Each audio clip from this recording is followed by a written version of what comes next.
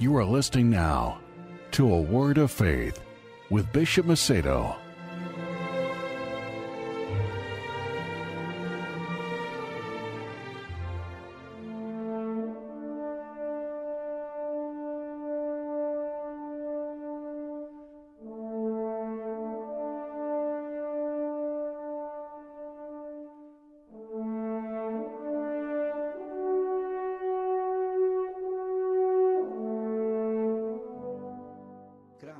Thanks be to God.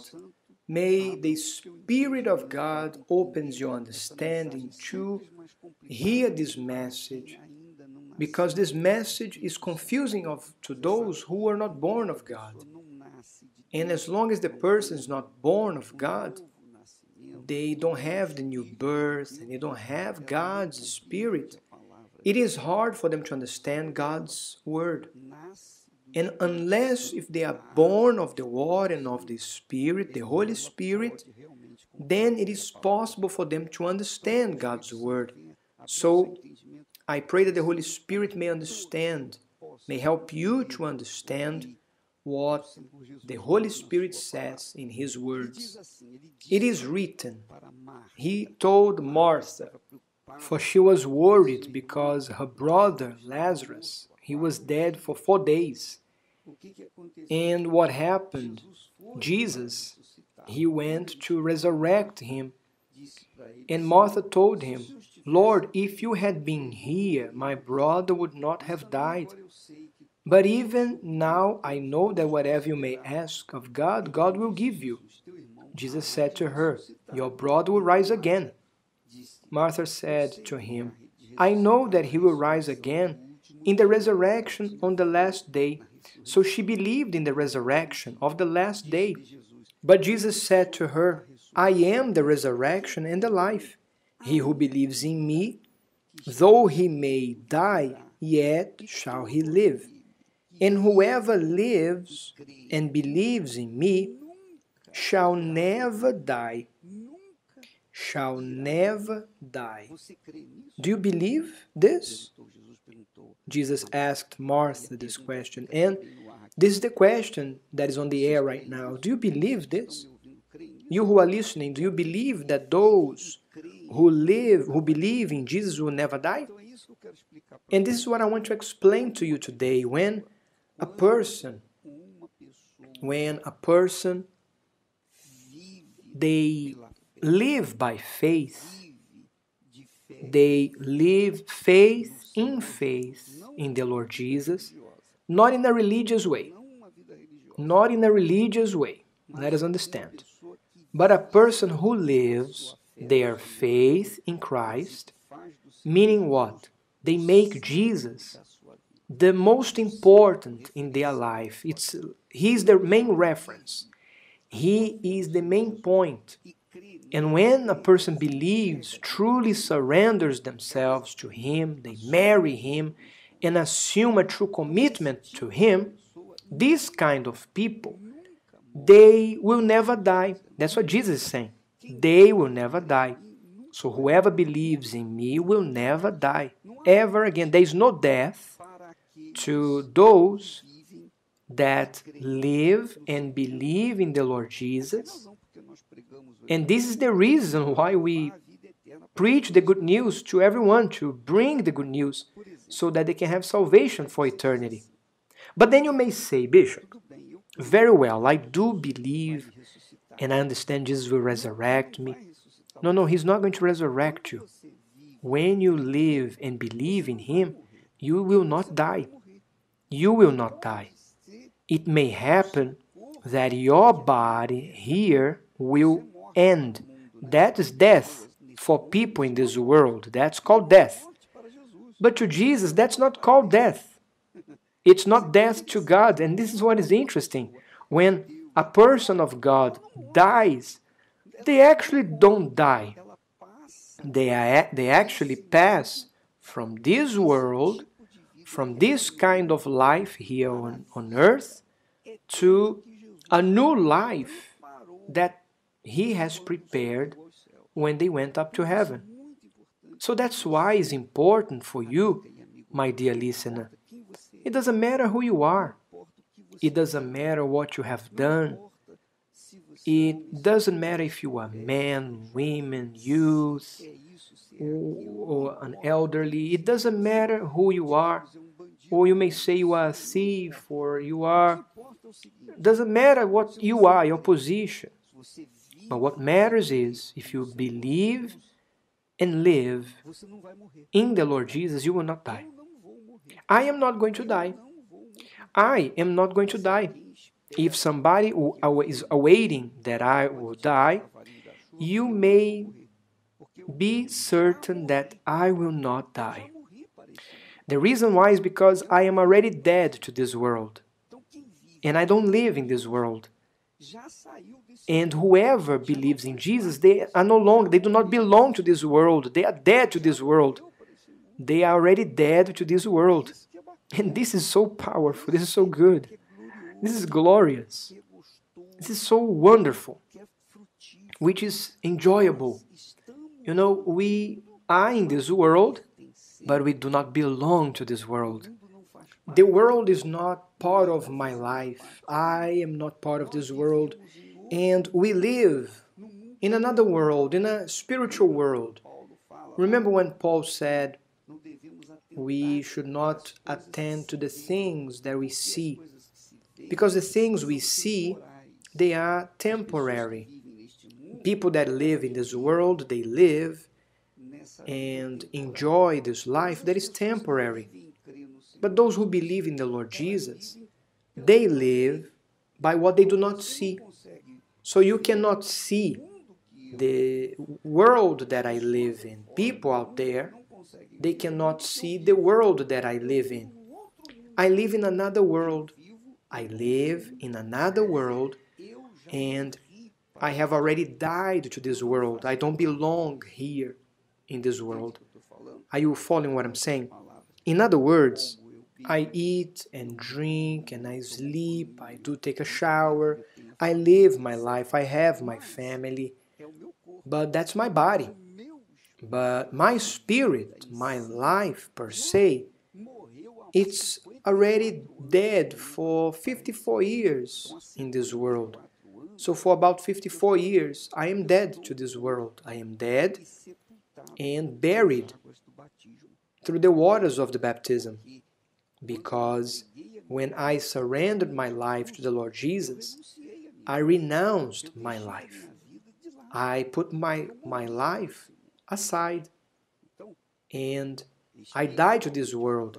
And spiritually speaking, I have 54 years. But my whole life, my life in this world is 72. But in reality, I am only 54 years old. this is very good to know. So, my dear listener, when the Lord Jesus said, all those, he said, you can read this there in John chapter 11, verse 26.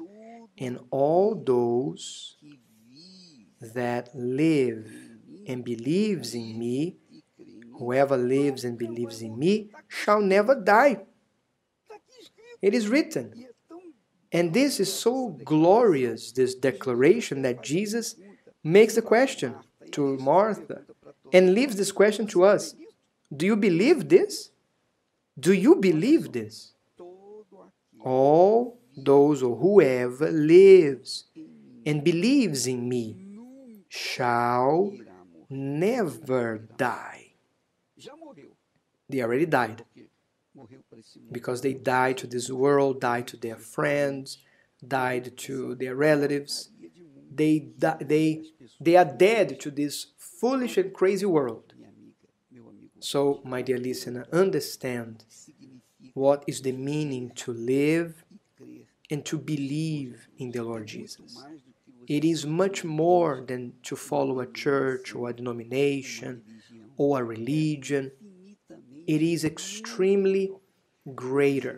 For instance, when a person they mistreat, when they persecute me, and you know they talk bad about me or they try to destroy my my work They try to destroy the things we have we have been building to our Lord Jesus.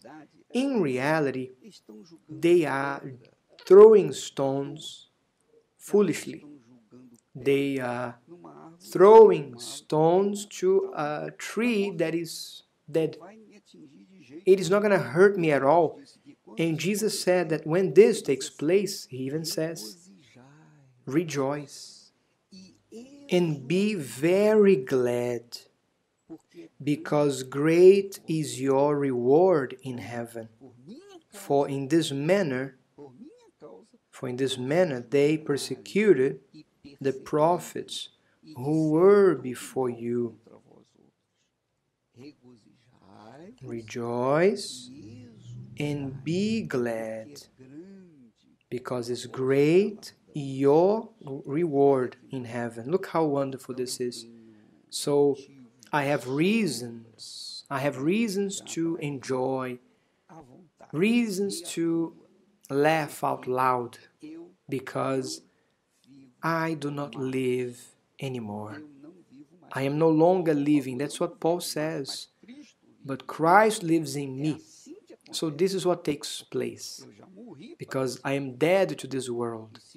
And if you live and believe in the Lord Jesus, so much more injustice or persecuted and so on and on you may go through, more reasons you're going to have of enjoyment. It's hard, yes, but there's more. You are a person that does not need to be concerned, does not need to be concerned with your own image. You don't have to worry about your name. You do not need to be concerned with your identity because you already died to this world. You are already dead to this world and you are living through the Lord Jesus. You are living by faith, the living faith, in the Lord Jesus Christ. And there is no way to kill you. There is no way to kill you. Death has been overcome from the moment we believe in the Lord Jesus. Death is already dead in us. It is impossible for death to reach us. We pass from death to life because we are hidden through the Lord Jesus. The world does not see this, and the devil knows it. The devil, the whole hell actually knows about this. He knows that those that live and believe in the Lord Jesus has died. That's why witchcraft doesn't work. They can make a lot of witchcraft, they can throw whatever kind of curse, envy. They can do whatever they want because it's not going to work. And how can they do witchcraft against someone who is dead? There is no way. How can envy hit someone that's already dead to this world? Those are the ones that live and believe in the Lord Jesus protected. That's why life, to live and to believe in the Lord Jesus, it is infinite more or greater than just to come to a church. It's greater than just coming to a church because you live in an endless plan and you live in God's kingdom. You are living in God's kingdom. You are already in God's kingdom. And in God's kingdom, whoever lives in God's kingdom, it is obvious that they are blessed, protected, guarded by the wings of the Most High. That's why you who are listening to me right now, whether you are in jail and you gave your life to Jesus, you are at peace. And people may ask, how can you have peace in prison? How can it be? You are only in peace because you have died. You have died to life in prison. So this life in prison has does not have you bound. Because your spirit, your spirit is free, your soul is free, your soul has resurrected, and you are living in a new life in Christ. So people may not understand this. For me, I don't care if they understand it or not. What matters is that you understand it and you live it, and you have this conviction and assurance so that you may not be dismayed in faith. That's the truth. Jesus said, All those and whoever who believes in me will never die. Shall never die. This is very good. This, this is very powerful. And he, he asks, Do you believe this? Jesus was asking Martha, and he leaves us this question today. Do you believe this, my dear listener? Do you believe it? Do you believe that you will not die? Do you believe? Do you believe that you already died and you do not exist? this is very, very nice, very powerful, extremely strong. It's extremely important, this faith that God has given us through the person of the Lord Jesus. Hallelujah. We are able to pass, we have crossed from death to a new life. When we truly convert, we cross from death to life. And death has no more power. In this, from this moment on, if Jesus returns and takes his church in our time, thanks be to him. And if he does not come and our body stays in this world, doesn't matter because we are already resurrected. We are already living a new life and going to God's glory, eternity in the name of Jesus Christ. Thanks be to God. We are coming to the end of our participation, but we're going to come back tomorrow and may God bless all of you abundantly.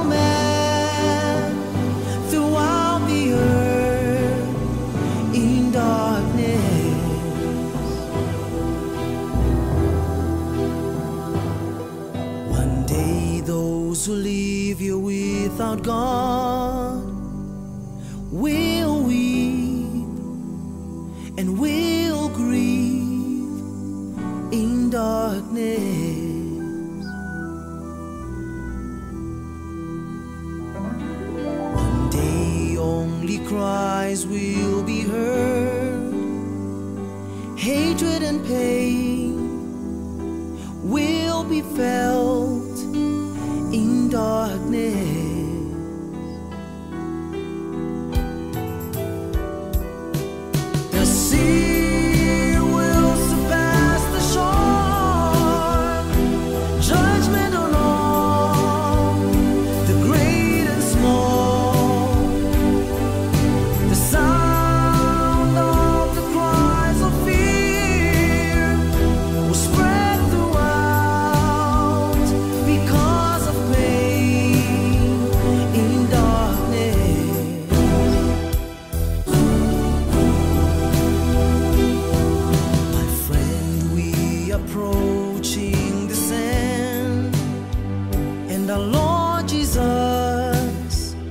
promise will return just as it's written.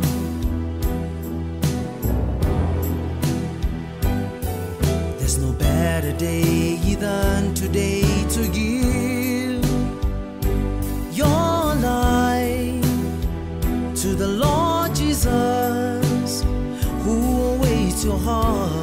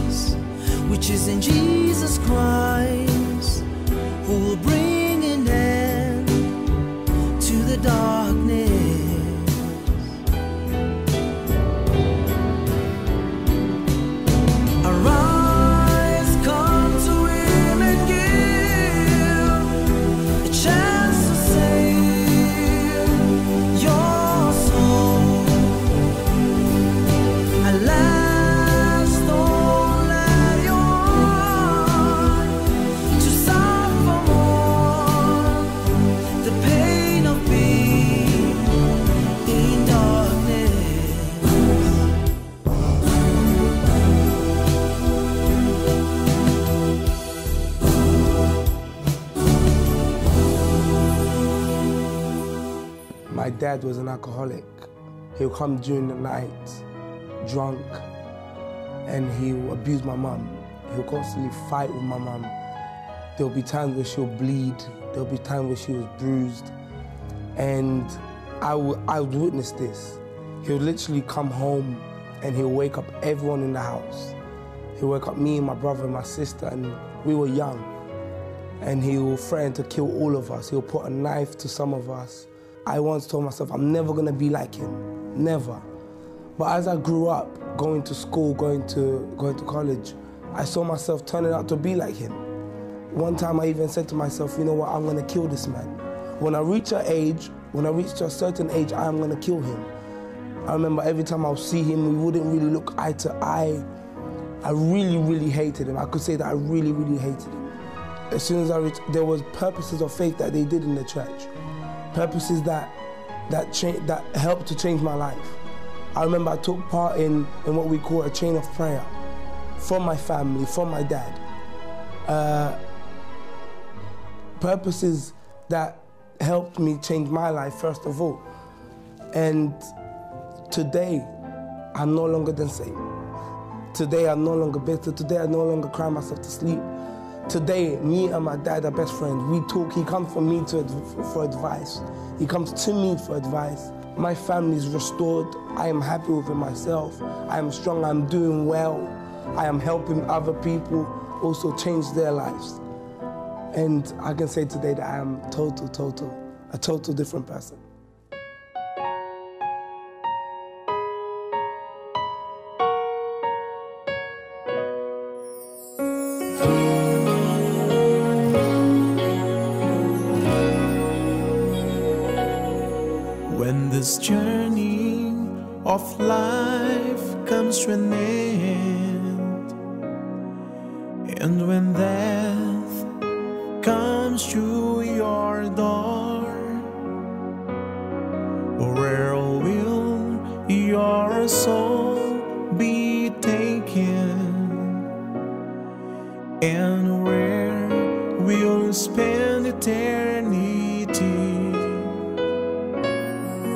Dear friend, should they have a choice?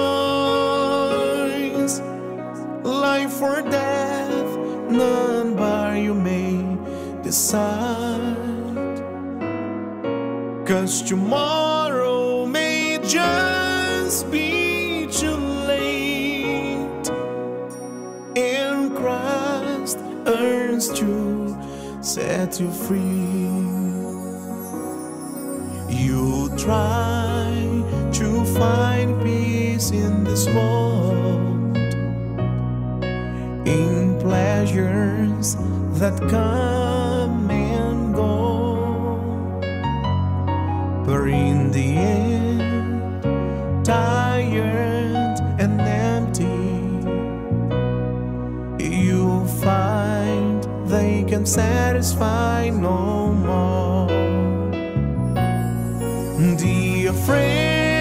today you have a choice. Life or death, none but you may decide. Cause tomorrow may just be too late. And Christ earns to set you free. Why do you laugh,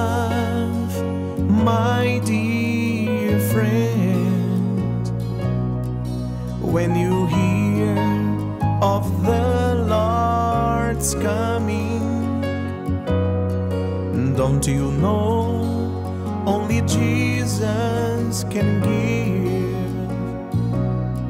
salvation through his death on the cross? Dear friend, today you have a choice. Life or death, none but you may decide. Cause tomorrow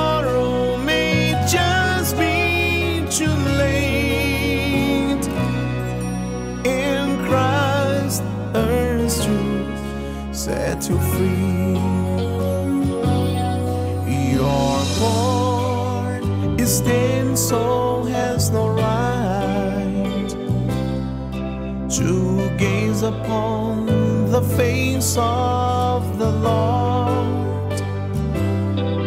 Only those with clean, pure hearts will see our dear Lord face to face. Friend,